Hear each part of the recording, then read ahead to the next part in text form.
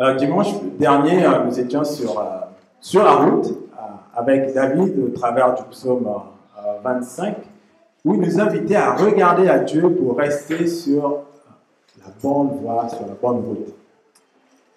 Et aujourd'hui, David, nous continuons avec David dans se laisser sonder par Dieu. En général, sur la route qui mène en- aux vacances, elle est longue en général. Euh, juste une question. Est-ce que ceux qui sont derrière, vous m'entendez bien? Ah, super. Ok. On m'a dit de parler fort, alors je vais essayer de parler fort. Euh, si, si- Ah, un peu trop fort. Alors à ce moment-là, ils peuvent me réduire. Je n'ai pas ce pouvoir, mais de l'autre côté, il y a des techniciens qui ont le pouvoir de baisser et d'augmenter. Merci en tout cas. euh. Donc, je disais sur la route, de, la route qui mène aux vacances en général, c'est lent. Et aujourd'hui, il y a des voitures, comme dit parfois intelligentes, qui ont beaucoup de gadgets qui permettent de pouvoir avoir une conduite sûre. Bah, Dans certaines voitures, par exemple, euh, au bout de deux heures ou un peu plus, il y a un message euh, euh, d'avertissement qui, qui s'affiche sur le tableau de bord qui, invite à, à, à s'arrêter. En fait fatigue détectée.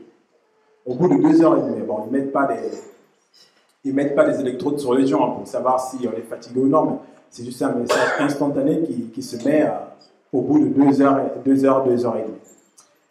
Et donc, quand ce message s'affiche, c'est une invitation à s'arrêter, à pouvoir checker si on est toujours dans les bonnes dispositions pour continuer la route. Et c'est un peu ce que David nous invite à faire au travers du psaume 26. Il fait une pause pour se laisser examiner par Dieu et s'assurer que son cœur, sa vie, sont toujours disposés et disciplinés pour continuer la route de la foi. Et je vous invite à voir ça en le, vers, le psaume 26 en, trois points. Le verset 1 à 3 euh, qui nous invite à chercher la vie de Dieu sur la qualité de notre relation avec lui. Le verset 4 à 5, chercher à préserver notre relation avec Dieu au milieu des hommes. Et enfin, le verset 6 à 12, chercher la grâce de Dieu dans sa présence. Chercher la vie de Dieu sur la qualité de notre relation avec lui. Je dis la version parole de vie. Seigneur, fais-moi justice. Moi, je me conduis parfaitement. Je fais confiance au Seigneur. Je ne risque pas de tomber. Regarde-moi bien, Seigneur. Mets-moi à l'épreuve. Examine le fond de mon cœur. Ton amour est devant mes yeux et je vis de ta fidélité.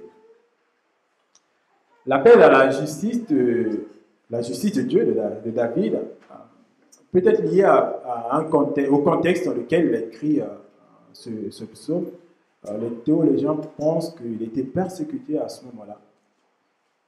Toujours est-il, on peut être interpellé par les mots de David qu'on pourrait qualifier à, tort comme de la prétention, de l'arrogance. Je ne sais pas vous. Comment un homme peut-il dire à Dieu, je me conduis parfaitement Quand la Bible rappelle qu'aucun homme n'est saint, sans péché. Et c'est Paul qui le rappelle encore dans Romains, Romains 3, verset 23. L'état de l'homme est aussi la conséquence de cela. Car tous ont péché et sont privés de la gloire de Dieu. Car tous ont péché et sont privés de la gloire de Dieu. Alors, David serait-il l'exception? Certainement pas. Alors, serait-il aussi arrogant Aurait-il euh, mal agi en écrivant ça? Certainement pas non plus. Au contraire, cela nous montre encore combien David est vraiment l'homme au cœur selon Dieu. Un homme, bien que n'ayant pas encore vécu la joie de, la grâce venue avec Jésus-Christ, par sa mort, sa résurrection à la croix, un homme qui a compris pleinement la grâce de Dieu avant même que Jésus-Christ ne vienne sur terre. Du moins, parmi ceux d'Israël auxquels Dieu s'était révélé, lui, il avait compris cela. Je pense que par je me conduis parfaitement, David veut dire qu'il honore les voies de l'Éternel, son Dieu. Je me conduis parfaitement, ça veut dire qu'il honore les voies de l'Éternel, son Dieu. Et ce qui montre que David ne fait pas preuve d'une haute opinion de lui-même, c'est vraiment la suite de notre texte et même des versets qu'on a lus. Il dit, je fais confiance au Seigneur, je ne risque pas de tomber. Cela montre bien que David ne met pas sa confiance en lui-même, mais il met sa confiance en l'éternel Dieu. Il dit ainsi, je ne risque rien en mettant ma confiance en Dieu. Il ne risque pas de s'éloigner définitivement de Dieu. David s'en remet à Dieu. Il dépend de lui. Et Jésus a clairement exprimé aussi la dépendance du chrétien vis-à-vis de, lui, vis-à-vis de, lui, Jésus, pour tenir ferme. Il a dit dans Jean 15, verset 5b, celui qui demeure en moi et en qui je demeure porte beaucoup de fruits. Et la femme, car sans moi, vous ne pouvez rien faire. Cette phrase m'a souvent interpellé. Sans moi, vous ne pouvez rien faire. Et je pense que David, c'est ce qu'il exprime là aussi quand il dit je fais confiance au Seigneur, je ne risque pas de tomber. C'est comme nous nous pourrons dire aujourd'hui, en Jésus-Christ, je tiens ferme, je ne risque pas de tomber. Nous sommes en effet faibles, prisonniers de notre nature qui est dictée par le péché qui nous colle à la peau. Et on ne peut pas s'en défaire par nous-mêmes, si ce n'est par Jésus-Christ. David dit aussi, regarde-moi bien Seigneur, Mets-moi à l'épreuve, examine le fond de mon cœur. David veut se présenter devant Dieu, non pas avec sa propre perception des choses, mais avec les vrais yeux de Dieu. Et ça, c'est interpellant. Il demande à Dieu de l'examiner, de voir le fond de son cœur. moi, j'ai envie de dire, waouh, quelle confiance en Dieu, quelle sincérité de cœur et quel amour pour Dieu. Imaginez, vous êtes étudiant. Est-ce que vous demanderez à votre professeur de vous faire une interro surprise? Non. Moi, en tout cas, j'ai dit non. Je vote non. Euh, c'est surprenant, en fait, d'avoir des étudiants qui disent Ouais, prof, fais-nous un contrôle aujourd'hui. Non. Au contraire, si le prof nous demandait Est-ce que vous voulez un contrôle aujourd'hui? Moi, je dirais Non, non, non, je préfère qu'on évite, on fera ça un autre jour. Et puis, on, le reporterait à demain, à demain, jusqu'à ce qu'il n'y ait pas de contrôle. Mais bon, ça, c'est dans les rêves, dans la vraie vie, il y a quand même des contrôles qui se font. Et comment alors David, lui, peut-il dire à Dieu, examine mon cœur? Il invite Dieu à examiner son cœur. Il invite Dieu à le voir tel qu'il est vraiment. Il est fondamental que le chrétien sache où est-ce qu'il en est avec Dieu. Est-ce que sa relation avec Dieu est au beau fixe ou s'il y a des choses à émonder, à changer? Une histoire euh, inspirée de, de, 365 histoires, que vous trouverez sur YouTube également, où euh, un jeune homme euh, qui travaillait pour un patron voulait savoir ce que son patron se disait de lui. Qu'est-ce que, quelle réputation il avait auprès de son patron. Alors un jour, il va à une station essence, il en profite pour passer un coup de fil à son, son patron. Il se fait passer pour quelqu'un qui cherche du travail. Il dit à son patron, voilà, je cherche du travail. Et le, patron au bout du fil lui dit, écoute, c'est bien dommage, moi j'ai déjà un employé qui, qui remplit bien la tâche, qui, qui, donne satisfaction. Et il dit plein d'éloges sur, euh, sur cet employé, qui en fait celui qui est au bout du fil. Et lui, en entendant ça, son cœur s'est réjouissait, on voyait vraiment le sourire sur son visage. Et il a dit merci, il a rapproché. Et puis, euh, celui qui était à la boutique, à la qui, qui, entendait la conversation est stupéfait par la réaction de celui à qui on veut dire en fait, il n'y a pas de poste pour toi chez nous. Quoi. Il se dit bah, c'est paradoxal, on lui dit n'y a pas de poste, mais pourtant il est dans la joie. Alors il lui pose la question mais pourquoi tu, tu as cette réaction? Pourquoi tu es, tu es content alors qu'on veut te dire qu'il n'y a pas de poste pour toi quoi. Il dit en fait l'employé dont parle ce patron, c'est moi. Et c'est important en fait que pour nous aussi on sache qu'est-ce que Dieu dit de nous. Parce que nous, nous pensons ce que Dieu dit de nous, mais exactement ce que Dieu dit de nous. Mais on n'a pas, enfin, sans même dire à Dieu, sans de moi, il faut savoir que Dieu regarde déjà nos cœurs et il a déjà un avis sur notre cœur. Et on le voit dans la Bible, que bon nombre de, de, cœurs ont été sondés par Dieu, à commencer par celui de Caïn. Alors j'ai choisi quelques exemples, il y en a plusieurs dans la Bible, mais j'ai choisi ceux-là qui me parlaient le plus. L'exemple de Caïn, après que Dieu ait approuvé l'offrande de son frère Abel et non le sien, Dieu dit à Cain dans Genèse 4, le verset 6 à 7, Pourquoi es-tu irrité et pourquoi arbores-tu un air sombre? Certainement, si tu agis bien, tu te relèveras. Si en revanche tu agis mal, le péché est couché à la porte et ses désirs se portent vers toi. Mais à toi de dominer sur lui. Et on sait la suite, ce qui se passe, c'est que Caïn va tuer son frère Abel. Dieu a vu dans le cœur de, Caïn le mal déjà qu'il nourrissait. Dieu a sondé son cœur. Mais on le voit aussi au travers de, David. Après qu'il ait commis l'adultère avec euh, Bathsheba, une femme mariée, il était tellement préoccupé à, cacher sa faute aux yeux des hommes qu'il a commis un meurtre et a fait tuer le mari de cette femme, Uri. Et il a fallu l'intervention de Dieu pour que ses yeux s'ouvrent et qu'il réalise qu'il venait de faire quelque chose de mal, de très mal même. Il s'en est repenti et Dieu lui a pardonné. On voit également l'exemple des, hommes qui voulaient lapider une femme dans, dans, dans Jean 8. Ils voulaient lapider une femme prise en flagrant délit d'adultère. Ils l'emmènent donc devant Jésus, ils insistent auprès de Jésus, voilà, Moïse nous dit, il faut lapider de telle femme, alors toi, qu'est-ce que tu dis? Et Jésus a gardé le câble, et puis à un moment, il leur a répondu, dans Jean 8, on dit ceci, comme il continuait à l'interroger, il se redressa et leur dit, que celui d'entre vous qui est sans péché jette le premier la pierre contre. Encore, Dieu a sondé le cœur de ces personnes et leur a montré l'état de leur cœur. En fait, comme le dit la Bible, ne soyons pas sages à nos propres yeux. Nous avons besoin que Dieu nous regarde, nous examine, surtout notre cœur, car c'est de lui que viennent les bonnes ou les mauvaises choses. Alors, je ne sais pas vous, mais quand vous êtes malade, que faites-vous? Vous prenez un doliprane Vous prenez une tisane? Oui On va se coucher. Et si ça ne passe pas, qu'est-ce que tu fais? Ah, on va voir le médecin. Je pense que pour ça, on est tous logés à la même enseigne. On va voir le médecin quand notre corps ne va pas bien. Nous allons voir le docteur qui nous examine, il fait un diagnostic et il nous dit de quoi nous souffrons. Bon, il ne s'arrête pas là. Il donne aussi un remède et un traitement pour nous guérir, n'est-ce pas? Et c'est ce qu'on attend d'un médecin en tout cas. Finalement, c'est la même chose pour tous les hommes.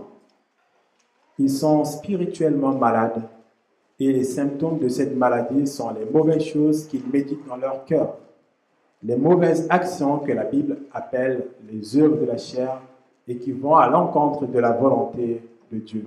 Et dans la Bible, on, en cite quelques, quelques-uns.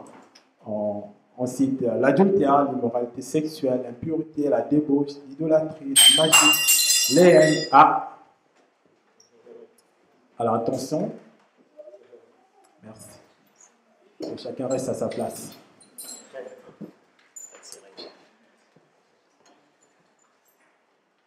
Alors les mauvaises choses dont parle la Bible, le péché, donc l'adultère, l'immoralité sexuelle, l'impureté, la débauche, l'idolâtrie, la magie, les haines, les querelles, les jalousies, la colère, les rivalités, les divisions, les sectes, l'envie, les meurtres, l'ivrognerie, les excès de table et toutes les choses semblables. On va dire tout ce qui va à l'encontre de la volonté de Dieu. Et Dieu est le médecin qui connaît notre maladie et qui, qui connaît aussi son remède, Jésus-Christ et le Saint-Esprit, à condition de l'accepter comme Sauveur et Seigneur. Et c'est le Saint-Esprit qui donne de ressembler progressivement à Jésus, l'homme qui a pleinement accompli la volonté de Dieu. Et tout comme la maladie s'exprime de différentes manières, même notre péché aussi, le péché s'exprime de plusieurs manières. Et parfois très, très, très subtil, en aveuglant et plutôt que de voir du coup l'épreuve comme euh, quelque chose de négatif, regardons l'épreuve comme une occasion euh, d'être purifié, une occasion de, pouvoir changer en nous euh, ce qui ne plaît pas à Dieu, ce qui ne honore pas Dieu. Et tirant des leçons de cela, c'est ce que David fait. Il appelle Dieu à l'examiner pour tirer des leçons de son état. Est-ce que je suis prêt à dire à Dieu, dis-moi ce qu'il en est de ma relation avec toi? Est-elle existante? Que penses-tu de moi? Est-ce que je suis prêt à dire ça à Dieu? Dis-moi ce qu'il en est de ma relation avec toi. Est-elle existante? Penses-tu de moi? David continue dans, dans ce qui fait euh, sa confiance pour pouvoir se présenter à Dieu. Il dit, ton amour est devant mes yeux et je vis ta fidélité. Si David peut demander à Dieu de le mettre à l'épreuve, d'examiner en profondeur son cœur, sans redouter le diagnostic, le verdict de Dieu, c'est parce qu'il croit en la fidélité et en l'amour de Dieu. Il sait que Dieu veut son bien et non son malheur. Et c'est le plan de Dieu pour tous les hommes, sans exception. Dieu nous dit à tous, en effet, moi je connais les projets que je forme pour vous, déclare l'Éternel. Projet de paix et non de malheur, afin de vous donner un avenir et de l'espérance. Moi, je connais le projet que je forme pour vous, déclare l'Éternel. Projet de paix et non de malheur, afin de vous donner un avenir et de l'espérance. Dieu dit aussi qu'il ne prend pas plaisir à voir l'homme mourir. Au contraire, il veut que l'homme change d'attitude et qu'il vive. En général, en entreprise, euh, lors de l'entretien annuel, quand nous on appelait euh, dans une entreprise où j'étais contrôle technique, certains patrons mettent en avant que les points négatifs. Que tout ce qui est négatif, pour qu'à la fin on puisse justifier une euh, non-augmentation. Qu'on puisse justifier le fait qu'on garde le même salaire, on n'a pas de prix. Mais avec Dieu, ce n'est pas le cas. Dieu n'est pas un patron qui est injuste. Dieu est un patron qui est bon, qui est sincère et qui est miséricordieux. Nous pouvons et devons lui ouvrir notre cœur pour qu'il l'examine, pour connaître l'état de notre cœur et de notre relation avec lui. Il nous invite à venir à lui, non pas en reculant, mais avec assurance, comme mon frère l'a dit tout à l'heure, et comme on le dira encore plus tard. On peut s'approcher de Dieu avec assurance en lui disant avec sincérité de cœur, que penses-tu de moi? Et écoutons sa réponse et soyons fortifiés par elle, ou soyons touchés par elle et demandons-lui de nous donner de grandir en maturité dans l'amour envers lui. Les versets 4 à 5 nous invitent à chercher à préserver notre relation avec Dieu au milieu des hommes. David dit, je, ne m'assois pas avec les gens faux et je ne vais pas avec les menteurs. Je déteste la bande de ceux qui font le mal. Je ne m'assois pas avec les méchants. L'homme doit résoudre une équation annoncée par Jésus-Christ et qui semble difficile à résoudre. Être dans le monde sans être du monde. Être dans le monde sans être du monde. Peut-être que si on reformule cette équation, ça nous donnera de, mieux comprendre et aussi de, voir comment y, répondre. Alors, c'est ma reformulation. Être dans le monde en regardant à la destinée finale, l'éternité de la glorieuse présence de Dieu. Ou encore, être dans le monde en vivant les valeurs du royaume de Dieu. Avant l'épreuve de la croix que Jésus a, a, a subi, a vécu, et avant son élèvement, Jésus avait prié pour ses disciples, pour ceux qui marchaient avec lui et pour tous ceux qui mettront aussi leur confiance en lui. Et ce qui est surprenant, c'est qu'il n'a pas demandé à Dieu, ôte-les du, monde. Non, ce n'est pas ce qu'il a prié en fait. Jésus a juste prié pour que tous les chrétiens, tous ses disciples soient préservés du mal. C'est sa prière envers Dieu. Que tous ses disciples soient préservés du mal. Et le mal, c'est le péché, c'est la désobéissance à la volonté de Dieu. Et le péché, c'est une maladie euh, héréditaire, euh, contagieuse, et qui malheureusement se transmet parfois aussi par mimétisme. En voyant l'autre faire, moi aussi je finis par faire la même chose. Et dans plusieurs psaumes, David rappelle qu'il choisit ses compagnons, ses amis, et justement pour qu'il ne soit pas pour lui une, occasion de chute.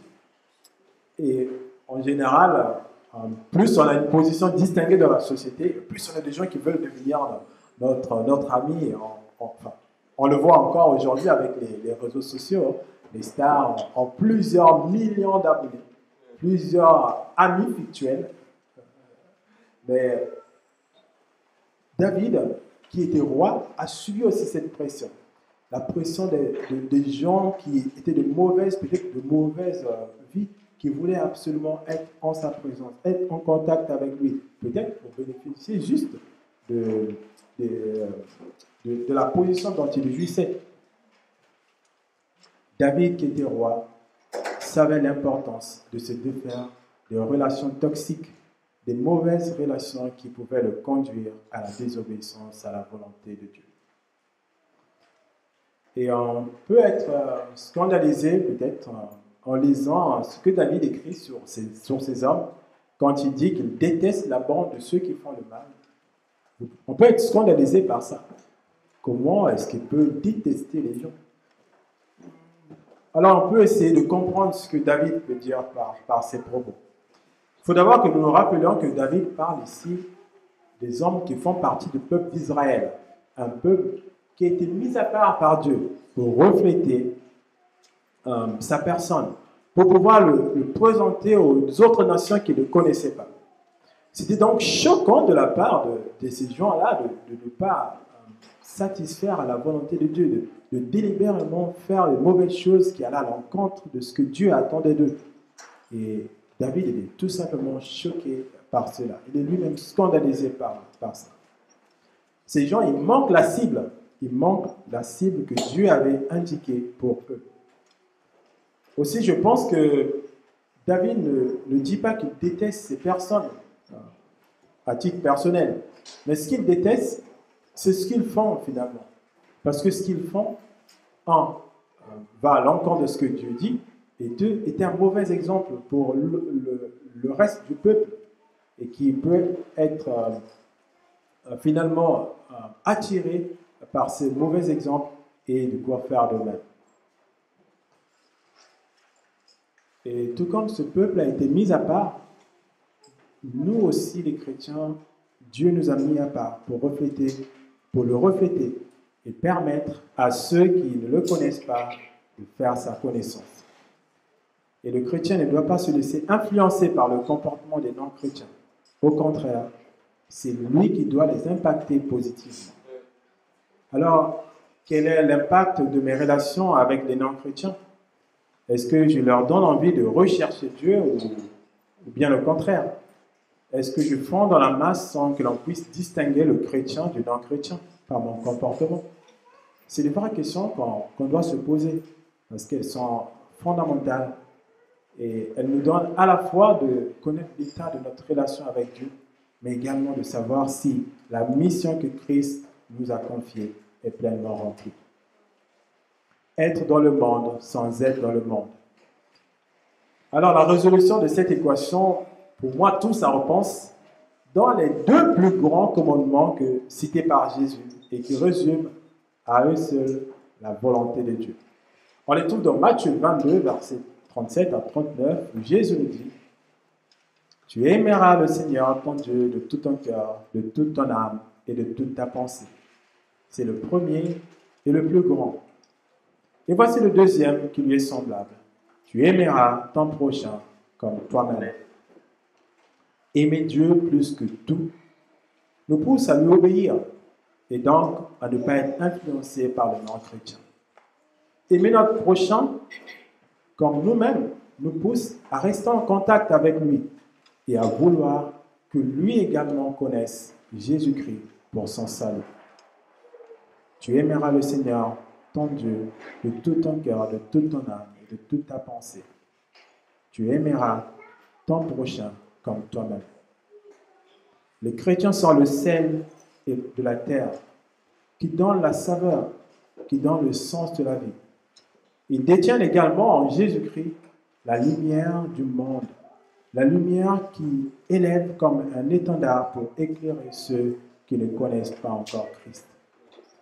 Et le chrétien doit cependant faire preuve de vigilance et de discernement dans ses relations avec des non-chrétiens. Si nos relations commencent à impacter notre foi, notre relation avec Dieu, négativement, je pense qu'on doit se poser des questions. On doit prendre conscience des risques et prendre les mesures nécessaires pour éviter des conséquences néfastes, la désobéissance à Dieu. Si un ami hein, commence à me dire bah, Attends, tout le temps tu vas à l'église, tu parles d'église, d'église, d'église, allez, dimanche euh, ou un autre jour, il y a une rencontre importante de l'église, je lui dis Allez, si tu m'aimes, prouve-moi ton amour, viens avec moi plutôt que d'aller à ta rencontre d'église. Il euh, faut quand même se poser les questions si euh, on devrait répondre favorablement à une, telle demande ou plutôt obéir à Dieu et être avec des frères et sœurs pour louer Dieu. Et on pourrait citer bien d'autres exemples. Mais en tout cas, si, euh, que ce soit le sport, que ce soit autre chose, un ami, des amis nous entraînent loin de Dieu, on doit vraiment faire preuve de discernement. Et peut-être faire une pause dans la relation et demander à Dieu la sagesse, la maturité pour pouvoir euh, continuer cette relation de manière euh, à ce qu'elle soit bénéfique à la fois pour nous et aussi pour le non-chrétien. Mais il ne s'agit pas de, sortir du monde.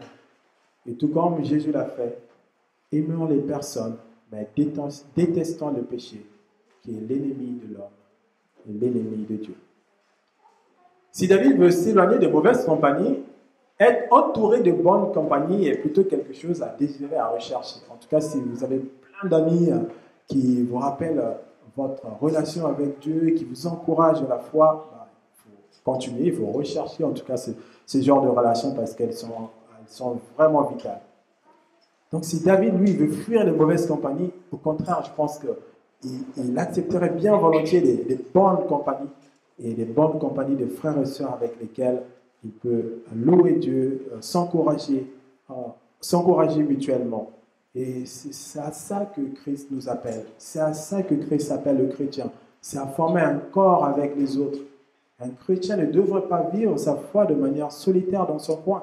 Ce n'est pas possible. Christ l'a appelé pour faire partie de son corps. Un corps qui est composé de plusieurs membres. Et on a souvent malheureusement entendu euh, des gens parfois dire Ah, j'ai tellement été déçu par l'Église que je préfère vivre ma foi chez moi avec ma famille. J'ai tellement été déçu que je, ne vois plus revenir dans, aller dans une église. Mais j'ai envie de dire, est-ce la volonté de Dieu? Est-ce que c'est ce à quoi Dieu nous appelle? Christ appelle ses disciples? Certainement pas. Et on peut aussi se poser une question si on est dans cette situation. Est-ce que l'église dont je parle était une église authentique? Une église qui se référait à la Bible? Ou est-ce que moi j'ai fait ma part de chrétien dans cette situation?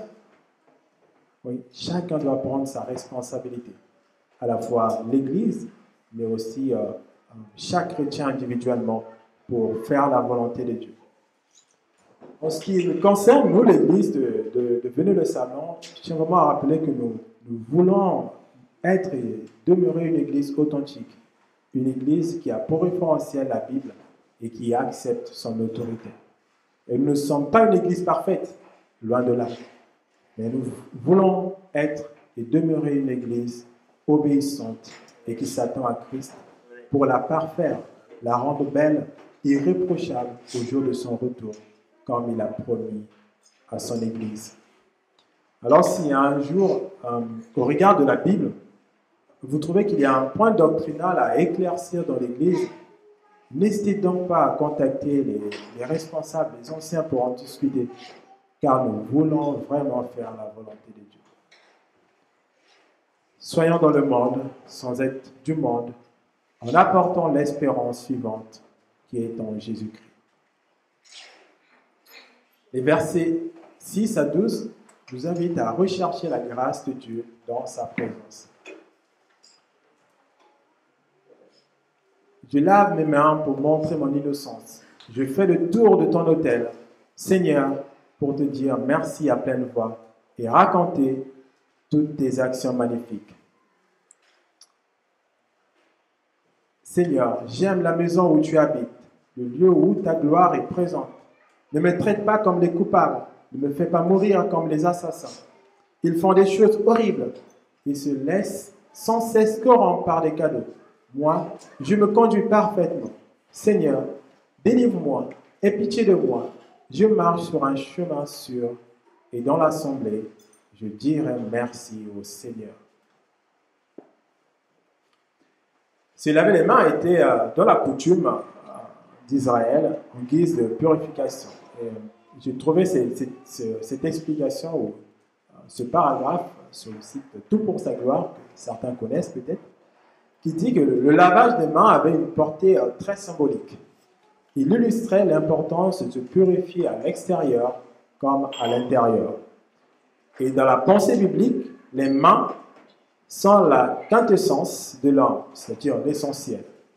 Les actions qu'il accomplit, l'homme, avec ses mains proviennent de son cœur. C'est vrai, ce que j'ai accompli avec mes mains vient de mon cœur. Soit pour bénir et guérir, soit pour verser du sang et commettre le mal. C'est pour cela que David dit qu'il se lave les mains pour montrer son innocence.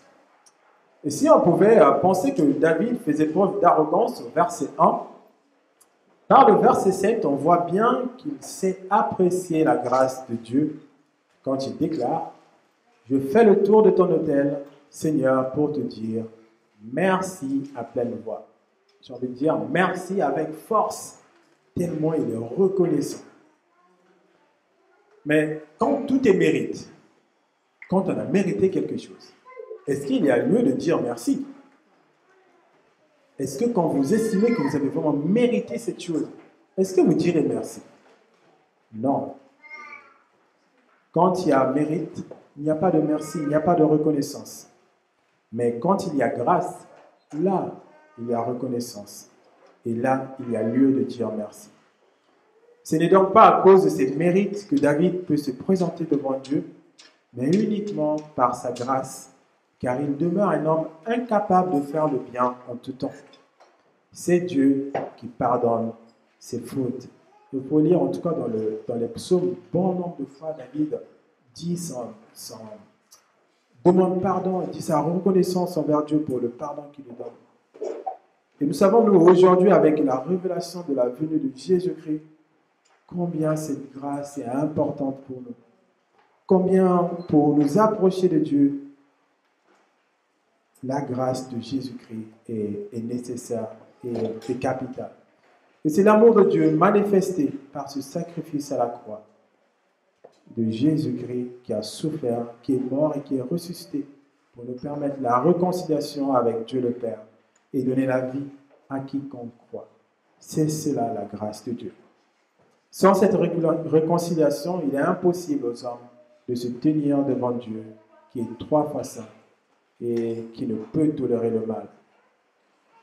Ça m'a fait penser un peu au mécanisme de la, foudre. Quand on était petit, on disait ah, il ne faut pas prendre euh, un parapluie avec euh, une pointe métallique parce que euh, ah, si tu as ça, c'est propice à ce que tu sois foudroyé par, par la foudre mais en fait, la foudre, elle frappe souvent les, monuments qui sont beaucoup plus hauts. Et c'est finalement le, péché, en fait. C'est, on peut illustrer ça par ça. La colère de Dieu s'abat sur le péché. Et du coup, sur le pécheur, c'est un peu comme la foudre qui s'abat sur euh, ce qui est plus élevé. Mais Dieu ne fait pas de favoritisme. Il ne permet pas à certains de pouvoir s'approcher à lui et à d'autres de ne pas pouvoir le faire. Non. Et si autrefois seul le peuple d'Israël était un peuple mis à part, on sait qu'aujourd'hui, que l'appel à s'approcher de Dieu concerne toutes les nations. Toutes les nations de la terre, Dieu leur dit, venez à moi. Et, et malheureusement, ce ne sont pas toutes les nations, ce ne sont pas tous les hommes qui répondent favorablement à cet appel. Et les gens en parlent euh, David, dans ces versets, ce sont justement des gens qui ont entendu l'appel de Dieu, mais qui ont décidé de persévérer dans la désobéissance, dans la rébellion à Dieu. Elles sont, hélas, coupables et se privent de la glorieuse présence de Dieu. Nous vivons encore aujourd'hui la période appelée le temps de la grâce. Le temps de la grâce où le pardon est encore accessible à tout homme. Ce pardon qui est offert en croyant en Jésus-Christ. Et la Bible rappelle une chose qui, doit nous donner à tous de, réfléchir et de faire aussi preuve de, discernement. La Bible dit qu'il est donné aux hommes de mourir une seule fois et ensuite vient le jugement. Ça veut dire que après la mort ou au retour de Jésus-Christ, la grâce de recevoir le pardon ne subsistera plus. La destination de chacun de nous sera scellée. Une vie éternelle aux côtés de Dieu ou une vie éternelle loin de Dieu avec euh, l'ennemi de Dieu, le diable, dans des tourments interminables. C'est donc aujourd'hui qu'il faut se décider. Aujourd'hui qu'il faut faire un choix qui aura des conséquences éternelles. Et pour cela, en tout cas, euh, Sylvain et, notre pasteur et moi-même, nous sommes prêts à, vraiment à, pouvoir discuter avec euh, tous ceux qui, s'interrogent euh, sur la foi chrétienne, sur le baptême, sur accepter Jésus-Christ et devenir son disciple. Il s'agit là vraiment d'une question de vie ou de mort éternelle et il faut s'en préoccuper. David est dans la joie, dans la joie d'être dans la présence de Dieu, être dans la maison où Dieu habite, où sa gloire est présente. Et si vous lisez les, les, psaumes, vous verrez combien David recherche constamment la présence de Dieu.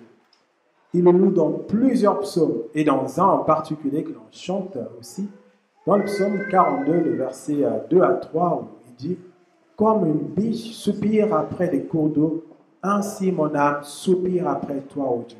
Mon âme a soif de Dieu, de Dieu vivant. Quand donc pourrais-je me présenter devant toi? David, il a soif de la présence de Dieu. À cette époque, il était sans doute loin, il ne pouvait pas euh, venir au temple. il disait sa, sa soif, son, son attente de, de, revenir dans la maison de Dieu. La présence de la la présence de Dieu est comme un retour aux sources, comme un, enfant qui retrouve sa mère et qui tombe dans ses bras euh, et qui, bénéficie de son affection, de son amour. Et c'est dans la présence de Dieu que le chrétien trouve tout ce dont il dispose pour sa relation avec Dieu. Et si autrefois, David ou ses contemporains adoraient Dieu dans un lieu spécifique, un temple ou le tabernacle, nous savons, nous, aujourd'hui, que c'est dans le corps de tous ceux qui croient en Jésus que Dieu habite par le Saint-Esprit, comme le dit euh, Paul. Ne savez-vous pas que vous êtes le temple de Dieu et que l'Esprit de Dieu habite en vous? Oui, c'est à la fois une joie de savoir que le corps du chrétien est le temple du Saint-Esprit, mais aussi euh, une responsabilité quand on connaît la qualité de Dieu qui est saint et trois fois saint. Alors ne disons plus quand je serai dans la présence de Dieu, car nous sommes pour le chrétien, celui qui a mis sa confiance en Jésus-Christ. Il est en permanence dans la présence de Dieu et il doit, il doit donc vivre en conséquence de cela. Est-ce que nous réalisons que nous sommes le temple de Dieu, que Dieu habite en nous par le Saint-Esprit? Prenons conscience de cela et, adoptons une attitude qui soit en cohérence avec ça. David termine au verset 12 en clamant qu'il marche sur un chemin sûr.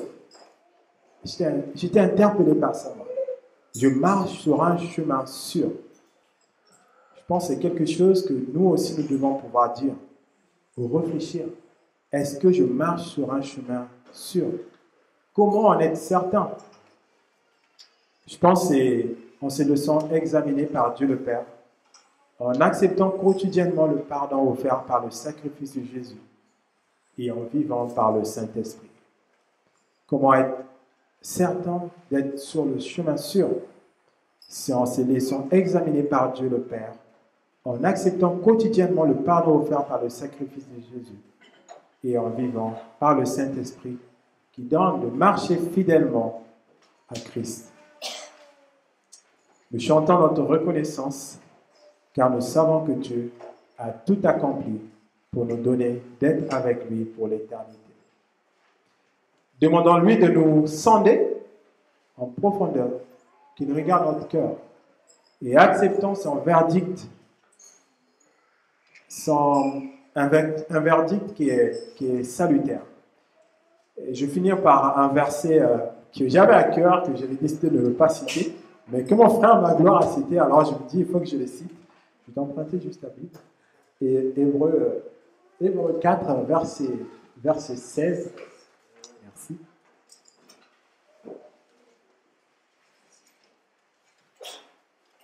Hébreu 4, verset 16, qui nous dit Approchons-nous donc avec assurance du trône de la grâce afin d'obtenir compassion et de trouver grâce pour être secouru au moment opportun.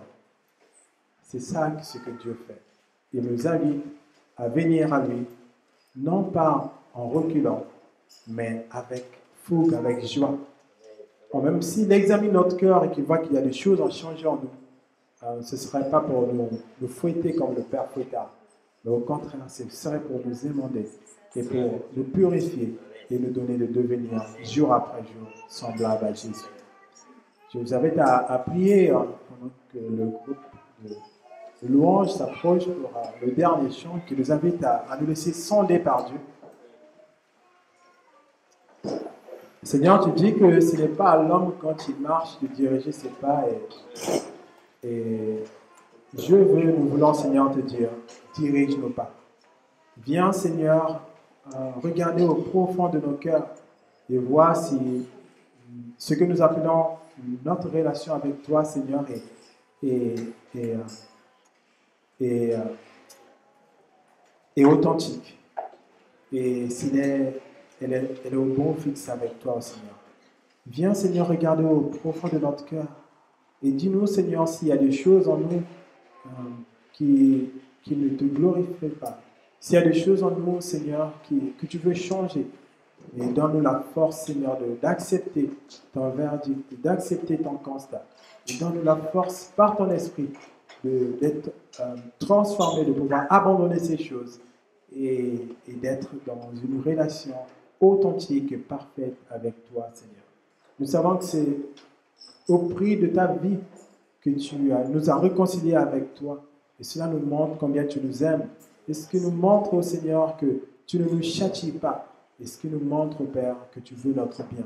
Nous voulons, Seigneur, que, que nous ne soyons pas des enfants craintifs devant toi, mais que nous soyons des enfants qui soient remplis d'amour, de reconnaissance, mais aussi de, de crainte, euh, une crainte euh, positive Seigneur, euh, devant toi et de recevoir ce verdict. Et qu'à la fin que tu le dises, entre dans la paix de ton maître. C'est ce que, Seigneur, nous désirons. Avoir une relation authentique avec toi. Sans de nous, Seigneur. Et remets-nous sur notre droit chemin si nous nous en sommes écartés. En Jésus-Christ. Amen.